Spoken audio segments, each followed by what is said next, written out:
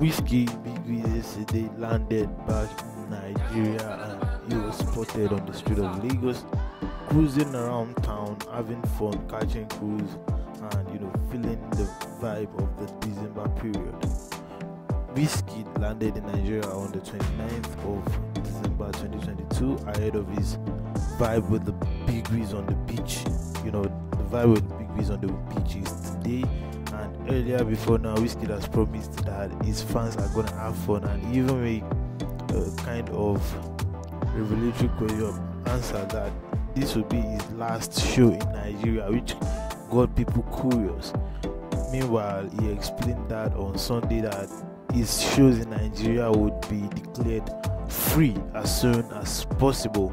The vibe with the big breeze is today and yesterday he was spotted in his brand new Lamborghini truck. He was having fun on the street of Lagos, catching cruise with his friends. He was with P Prime, the young Nigerian producer, and also he went ahead to his DJ's party by um, DJ Tunez Blackout Party in Lagos. Wizkid had so much fun. You all can see the video on your screen right now. He had a lot of fun catching cruise and you know being with his friend. He had a whole lot of fun, um, time to spend with his friends. I'll be bringing you for that content from the vibe with the big Wiz on the beach. Do well to subscribe to the channel, turn on post notification, and do well to like this video. Thank you.